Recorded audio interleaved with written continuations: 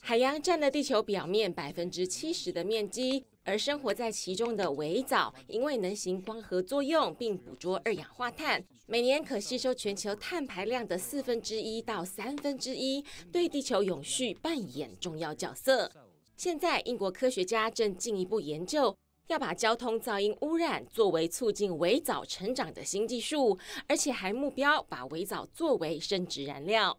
We can hear sound because it vibrates the uh, microparticles in the air and it's creating the mechanical wave and thus creating the mechanical stress. Um, this um, microalgae itself it will absorb all of this and then with those mechanical stress it will further boost the cell um, cell growth and then boost the, the microalgae biomass and uh, biofuel production.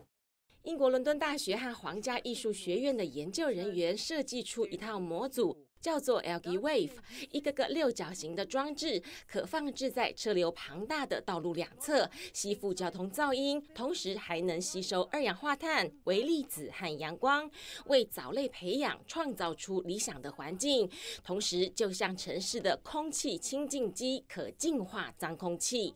LG Wave is something we're super proud of because Um, I would describe it as something revolutionary to turn noise into something actually useful to boost the biomass production of microalgae. 小小微藻用处不少，从海洋到陆地有更多应用功能，协助过滤空污，还能放大除碳量。学界的创意发明前景看好，就等投资人或公部门采纳，扩大微藻的永续应用。大爱新闻吴桂珍编译。 진짜 보